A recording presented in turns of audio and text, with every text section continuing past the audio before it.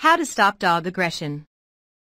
It can be very frustrating to own a dog that, while perfectly friendly around you and your family, suddenly becomes aggressive with strangers, passers-by or visitors. A dog that suddenly starts growling, biting or snapping at other dogs or people should be trained as soon as possible, and their aggression controlled.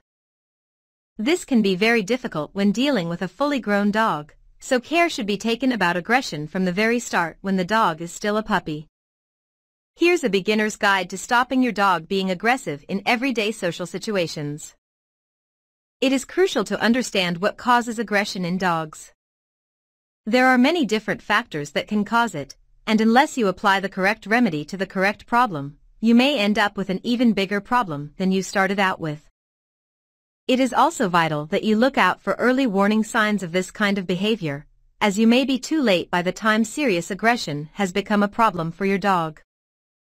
The source of much aggression in your dog can be their attempt to assert dominance over you and others. They may wish to be the alpha dog, meaning that they are in control of the pack in general, your family.